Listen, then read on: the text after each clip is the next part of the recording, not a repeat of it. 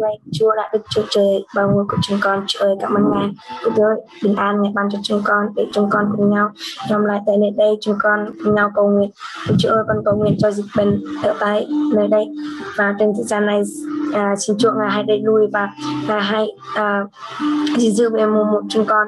Để chúng con có thể đến trường và chúng con sẽ không phải học online nữa Chúa xin Ngài hãy ở cùng với Ngài ban phước dù à, cần thế nào nhưng Chúa Ngài đang bảo vệ và gìn giữ một chúng con. Và Ngài đẩy lùi virus khỏi à, đất nước chúng con. Chúa ơi con cảm ơn Ngài. Con cầu nguyện trong danh Chúa Giêsu Christ. Amen.